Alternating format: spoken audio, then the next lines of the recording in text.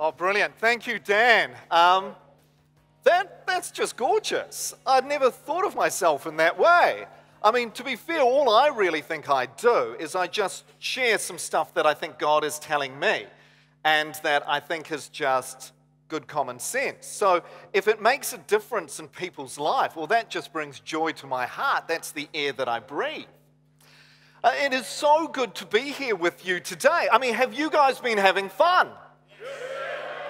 Ah, now there's volume. You see, the other two venues, Christchurch and Wellington, they were mostly excited about being at Promise Keepers, but you guys, I mean, you've bought the t shirt, you have this in your DNA, you love what it's about. Is that right? Yeah. That's great.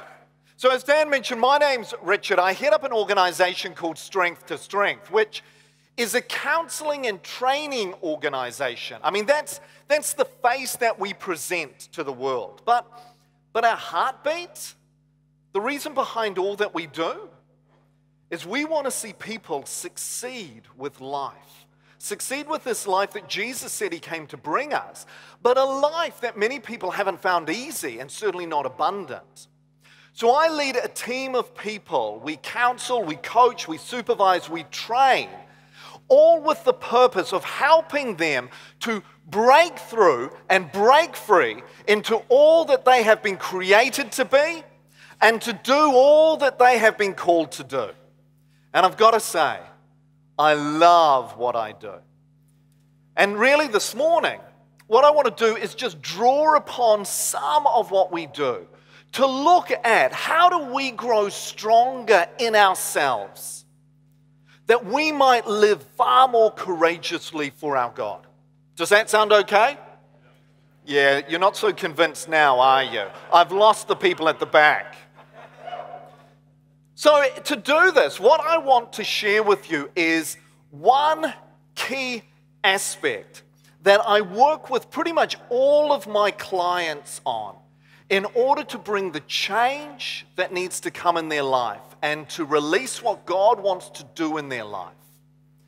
But it's an area that at times can seem seemingly insignificant, but it carries such powerful ramifications. And that is simply your perspective. Do you see that your perspective can either help you or it can hinder you? Your perspective can restrain what God is doing in your life or it can set you free. Your perspective is that powerful. And I want to take you to a passage of scripture where we hear perspective spoken. We hear three distinct perspectives shared by three different groups. So if you've got your Bibles with you, we're going to go to Exodus chapter 14, starting at verse 10. Now, now just a bit of background to this passage. This is the point in Israel's history where they have finally been set free from Egypt. They are wandering out of Egypt into the desert. Their men, their women, their children, their livestock, their livelihood, they're all wandering out, setting themselves free from Egypt until they get to the banks of the Red Sea.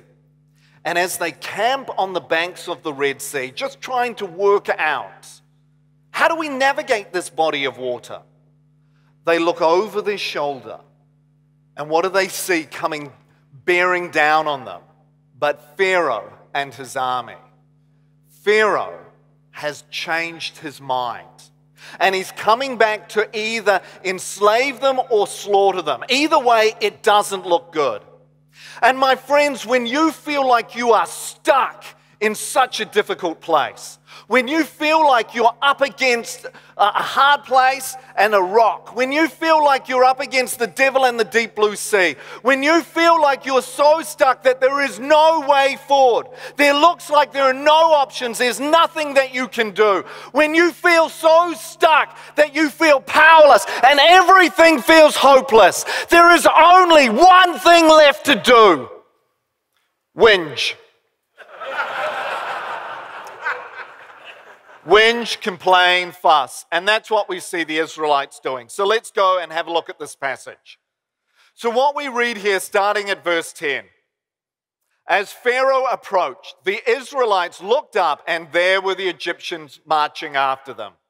They were terrified and they cried out to the Lord. Now, I think this is one of the funniest passage in the Old Testament. And they said to Moses, Was it because there were no graves in Egypt that you brought us out here in the desert to die? I mean, what have you done to us by bringing us out of Egypt? Didn't we say to you in Egypt, Leave us alone. Let us serve the Egyptians. It would have been better for us to serve the Egyptians and die in this desert. Moses answered the people Do not be afraid. Stand firm, and you will see the deliverance the Lord will bring you today. The Egyptians you see today, you will never see again. The Lord will fight for you. You need only to be still. Then the Lord said to Moses, Why are you crying out to me? Tell the Israelites to move on. Raise your staff, stretch out your hand over the sea to divide the water so the Israelites can go through the sea on dry ground. I will harden the hearts of the Egyptians, so they will go in after them. And I will gain glory through Pharaoh and all his army, through his chariots and his horsemen. The Egyptians will know that I am the Lord when I gain glory through Pharaoh, his chariots, and his horsemen. You see, my friends, in this passage, when they are facing this really difficult situation, we hear three distinct perspectives shared by three groups of people. The Israelites speak, then Moses speaks, and then God speaks, each sharing a different perspective. So, first up, we have the Israelites, and they speak. Now, they speak from a powerless perspective. And to be fair, we can understand why. Because this was a group of people who had been enslaved in Egypt for how long? Almost 500 years. For 500 years, they have been enslaved. They have been abused. They have been tortured and tormented.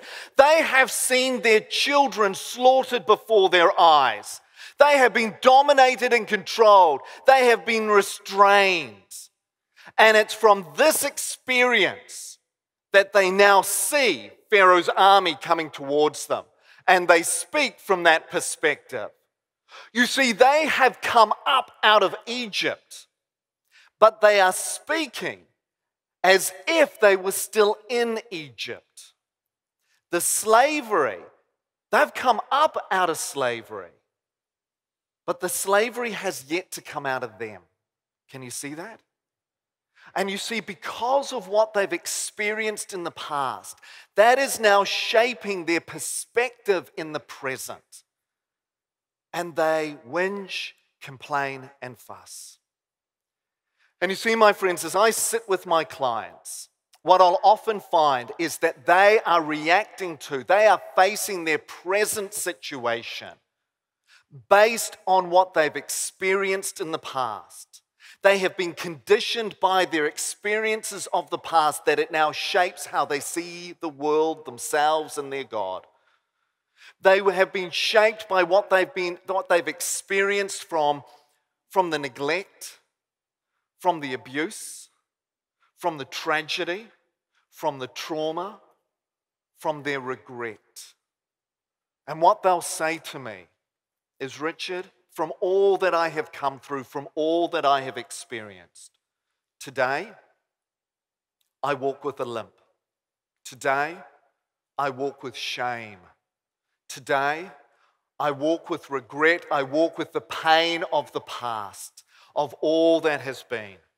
And what I'll say to them, what I'll share with them is sure, what has happened has happened, but this does not define who you are.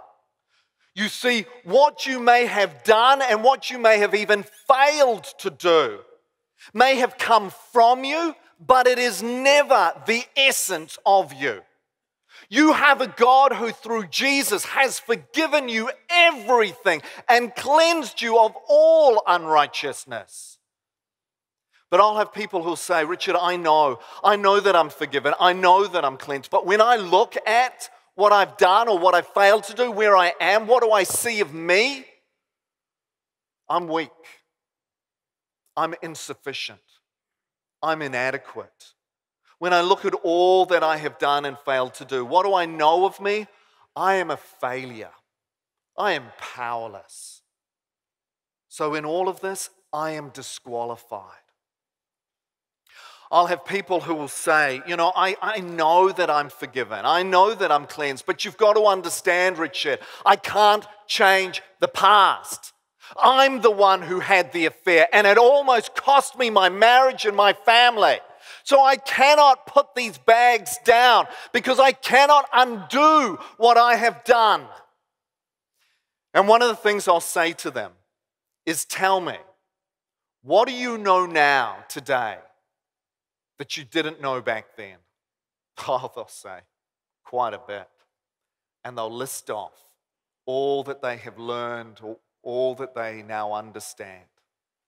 And I'll say, so if I took this present version of you that knows these things, and I put you back in that past situation, tell me, what would be different? To which they'll say, oh man, if only, if only that could happen. I wish I could do that. I would change all that had happened. And I'll say, and if I took this present version of you that knows something different, and I put you in the future where you face a similar situation. Tell me what will be different in the future? And they'll say, Oh, everything. Everything would be different with what I know now, with what I have learned. And I'll say to them, Did it ever occur to you that you can put down these bags because this is no longer you? You see, when you know something different, you become someone different. And so you can leave these bags behind because this isn't who you are, this is who you were. And you see, when you know that you have a God who has forgiven you everything in Jesus and cleansed you of all unrighteousness, when you know something different than what you knew in the past, you have become someone different.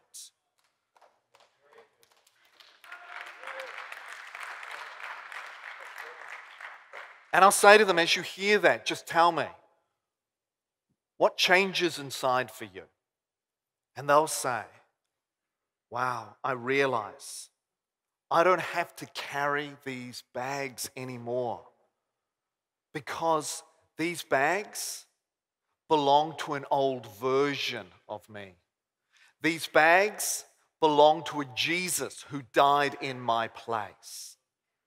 I can set these bags down and walk free because this is no longer me. And you see, my friends, if we're going to live courageously for our God, we have to bring closure to our past so that it no longer pursues us. And that's what we see God is about to do with the Israelites. He's about to bring closure to their past so that it no longer pursues them. You see, what they are failing to remember is that they are sons and daughters of Abraham. What they are failing to remember is that they are sons and daughters of the Most High God. What do they see of themselves? Is that we are slaves, we are powerless. So there is no option for us but to whinge, complain, and fuss.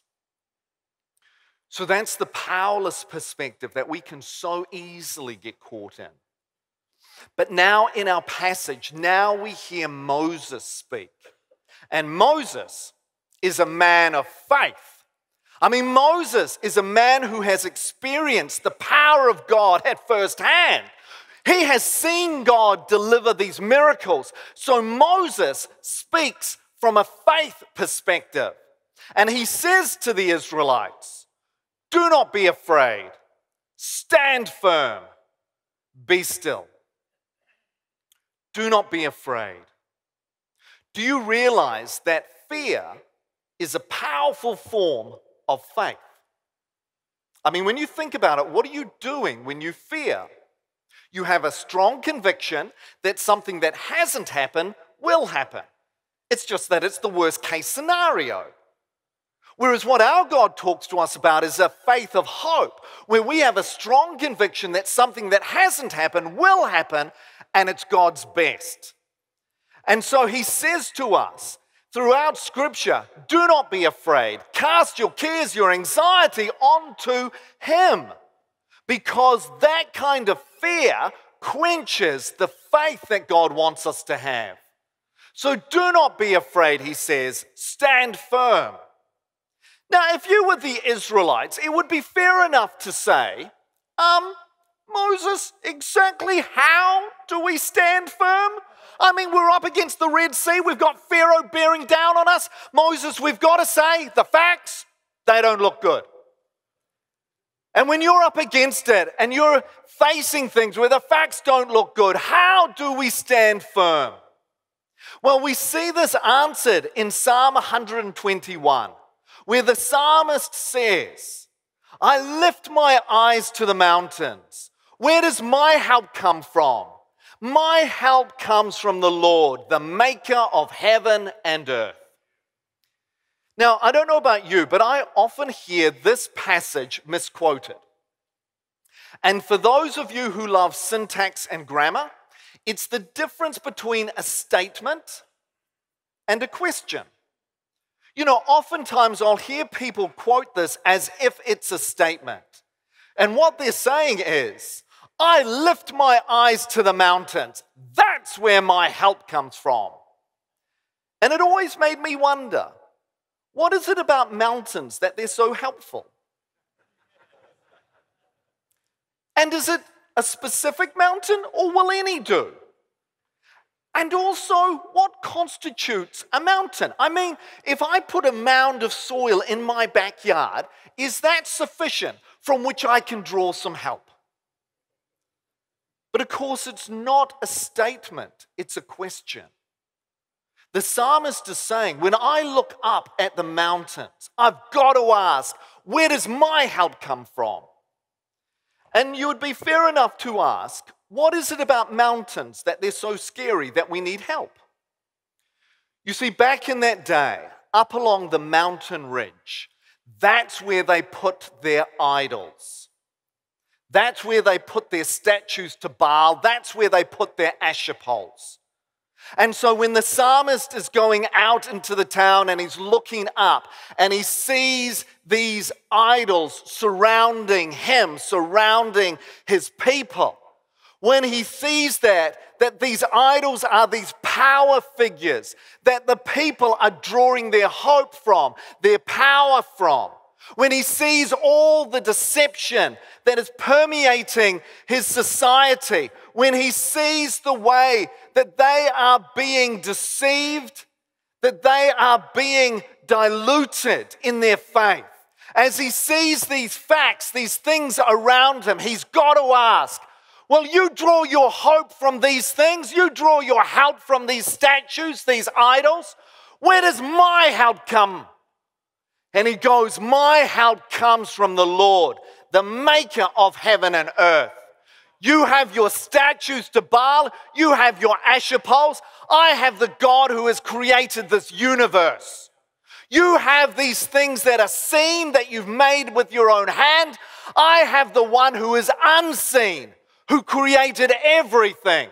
So when I look out at the facts and they don't look good, when they are bearing down on me, I will stand firm in the faith of the one who is unseen. And so, this is what Moses is calling his people to. Do not be afraid. Stand firm in the faith of the one who is unseen, who is behind all and before all. Do not be afraid.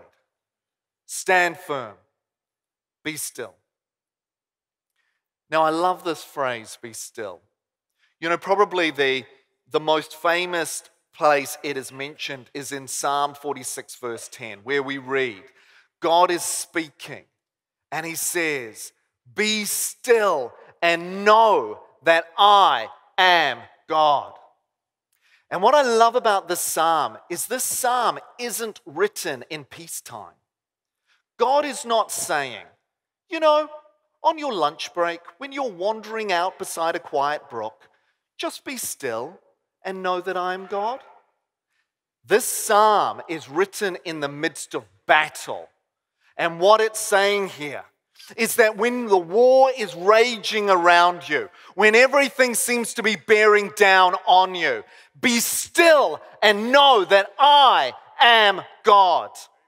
And what I love even more in this passage is that we under translate this phrase, be still. I don't know if you're aware of that. That in the Hebrew, this phrase, be still, carries much greater intensity. That if we were to more accurately translate this phrase, be still, it would be shut up! Shut up and know that I am God. Stop your whinging, stop your complaining, and know who I am. Shut up. And when I sit with my clients, I'll often have to say to them, no, I don't tell them to shut up. I'll often have to say to them, you need to hold on to the truth. And you need to stand firm in the truth and say to your emotions, your mood, your mindset to sit down and shut up. It has been waging war against you, and we need it to settle down so that it stops rampaging in your mind. So don't be afraid. Stand firm. Be still. This is the faith perspective, people. Now, you would think that the faith perspective is the pinnacle, wouldn't you? That this is the top of where we need to get to. And Moses, I mean, Moses nails the faith perspective, doesn't he? But what's interesting is that God now speaks, and God takes it to a whole new level. God introduces us to an overcomer's perspective. And what God says to Moses, He says, Moses, why are you crying out to me? Why are you complaining to me? Now, if you were Moses, equally, you'd be thinking, um, this is pretty obvious. Red Sea, Pharaoh's army, ensuing massacre. You know, you are our God. You are our provider. You are our strength. Of course, we're going to cry out to you. Who else would we cry out to? But what God says to him is Moses, tell the people to move forward. Lift up your staff, stretch out your hand, and divide the Red Sea so that the Israelites can walk across it on dry ground. Oh, says Moses, I forgot that one. I mean, what God is saying to us here, people, is that you have faith in God. That is excellent. But never lose sight of the fact that He has faith in you. He's saying to Moses, I have gifted you with power and authority to make something happen. So get the people to move. And he's saying to all of us, as my sons, I have gifted you with power and authority. So make something happen. Don't paint yourself powerless. Remember that you are sons of the Most High God.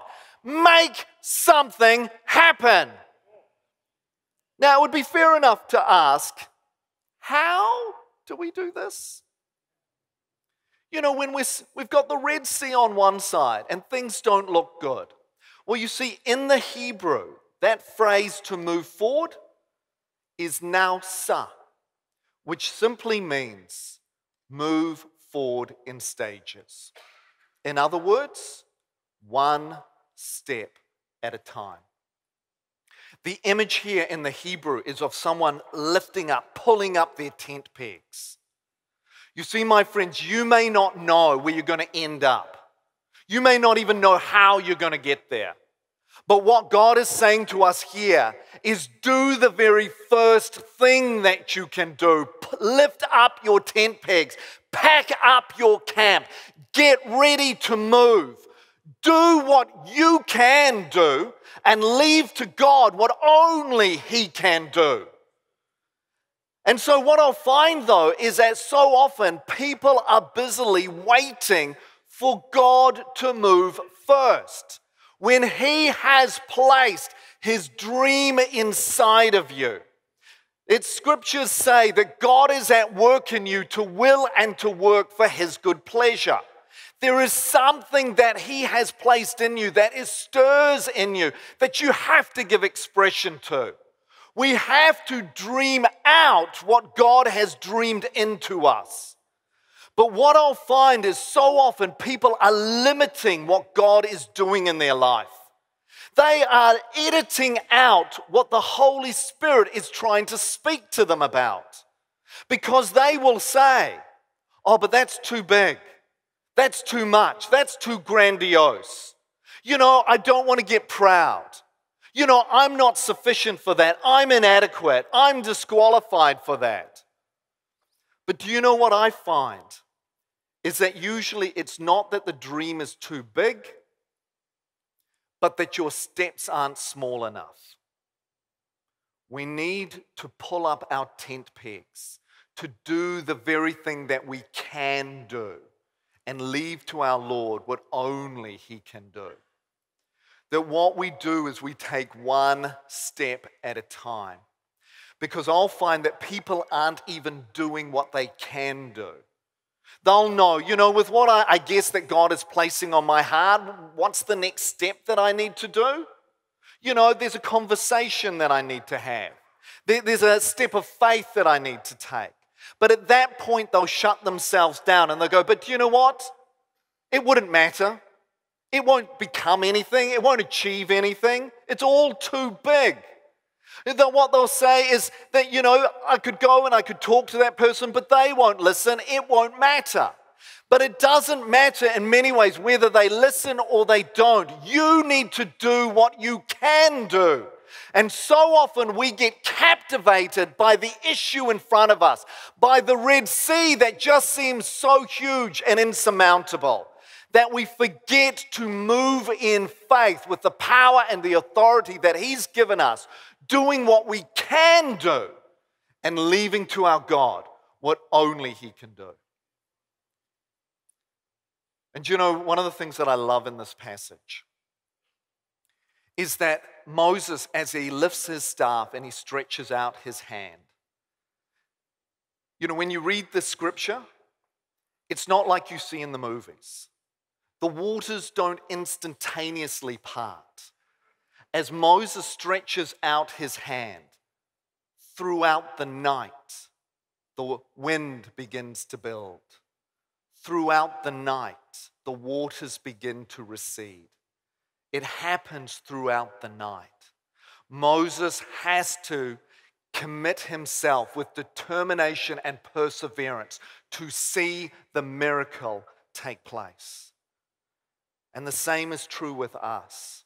That if we're going to move forward in courage, we've got to move forward in faith with determination and perseverance, doing what we can do, lifting up our tent pegs and leaving to our God what only He can do. See, my friends, what is it that God is, has been placing on your heart? What is the dream that He has been putting in you? How has He been stirring you? And in what ways have you limited that? That it's time to pull up your tent pegs and do what you can do if we are to be people who are people of strength, who live with courage for our God, we've got to bring closure to our past so it stops pursuing us and undermining us. We have to have faith in the present, in the one who is unseen. And we need to take our steps of faith, stepping out and doing what we can do to dream out what God has dreamed into us. Are you with me? My friends, can we just stand together, please?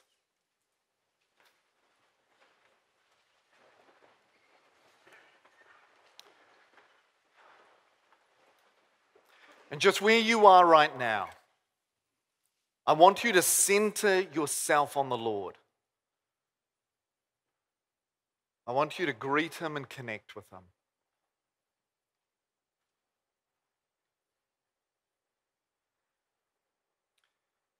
I want you to listen. What is the Holy Spirit highlighting in your life? What needs to be addressed? If you're a person where you know that you need to bring closure to your past, that what you have done or failed to do, that the regret of that has been binding you up and disqualifying you. I want you to come find a place at the front as a step into God's presence to receive his healing.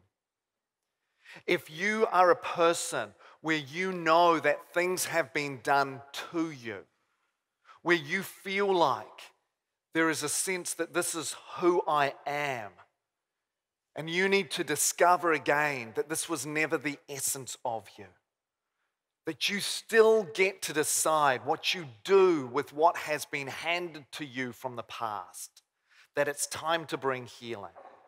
I want you to come find a place at the front. If you're a person where you know that in the present of what you're facing, the facts don't look good, and you need greater faith to face that, come find a place at the front. Because we're going to have people who are going to pray strength and courage into you. And if you know that God has been calling you to do something, there is, there is a step that you know you need to take, then what I'm going to get you to do is come at the front. As you're now making a declaration Lord, I may not even know where I'm going to end up, but I know that I want to go with you and I don't want to limit what you're doing in my life. So I will do the very smallest thing that I can do so that you can do what only you can do.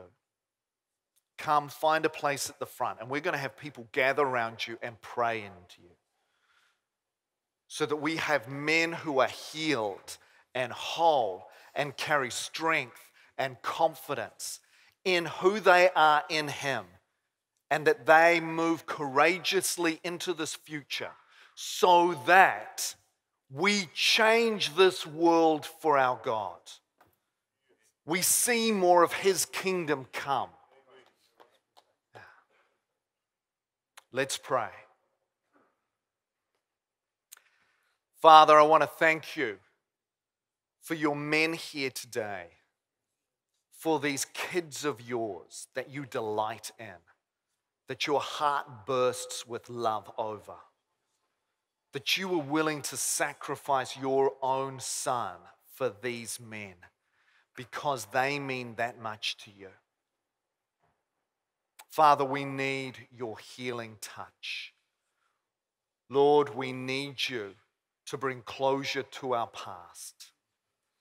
We may still need to face the consequences of what has happened we may still need to take responsibility for what has happened. But Lord, we no longer want it to define who we are. And Lord, may we have eyes to see you, the one who is unseen, and know who you are. That we stand firm in faith, regardless of what we see around us. And we dream out this future that you've dreamed into us that we are change agents, that we are your men, your warriors, your protectors, your influences in this society for good, for you. Come, have your way, my Lord. Come, Holy Spirit, now. Holy Spirit, come and fill us all. Fill us with your presence. Fill us with your love. Fill us with your power. Fill us with your truth. Thank you, Lord. Thank you, Lord. Thank you, Lord. Mm. Thank you. Can we get the prayer team just to move through if you're not already doing so? And laying hands and just praying into what God is doing. Men, as you're standing there as well at the back, if you can just lift a hand and pray into what God is doing with the men here. We need your support in this. We need your prayers. Mm, thank you, Lord.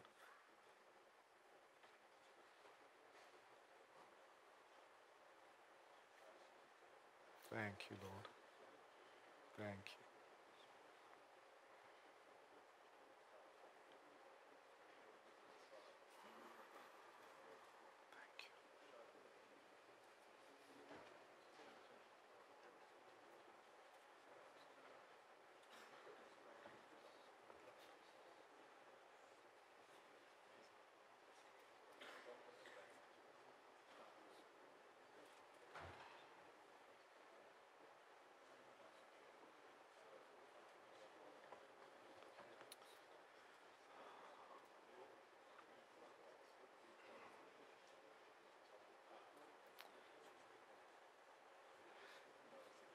you. Thank you, Lord. Thank you, Lord. Yeah, thank you. Thank you. Mm.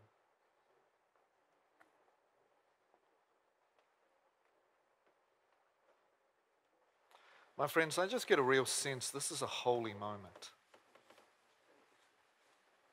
That something's shifting now that's going to change people's lives. It's going to change families, communities. And I just want us to, to thank our God for what He's doing. Because there's something quite holy and special that's taking place. Mm. Thank you, Lord. Mm, thank you, Lord.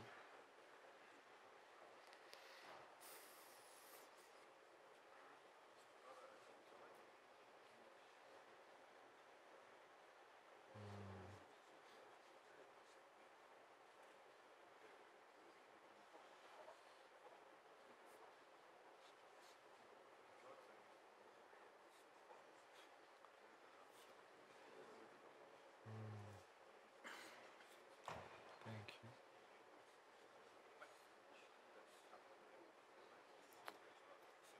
Yeah. And this is a beginning for many of you. This isn't the end. This is a new way of walking, a new way of thinking, a new way of growing. Mm.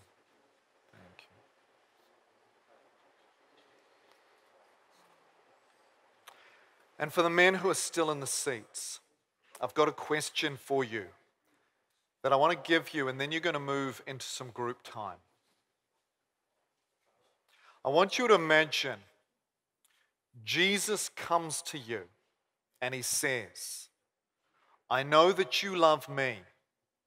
Tell me, what do you want to do for me and my kingdom?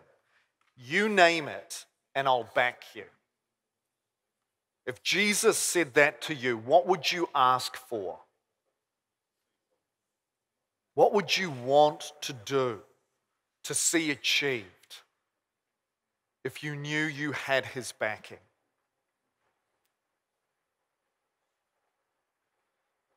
Let's not limit what the Holy Spirit is saying to us, but let's open our understanding and our ears to what the Spirit is saying. Of course, we're going to test and weigh anything that stirs in us. But I want you to start to think if Jesus said, What do you want to do for me and my kingdom? You name it, and I'll back you. What would you ask for? So, where you are in your seats, just gather in your groups right now. Turn to the other men around you, beside you, and start to answer that question. Share for one to one another and then pray for each other and what God has placed in your life. And we're going to continue to pray and to minister to the men who are up here as well.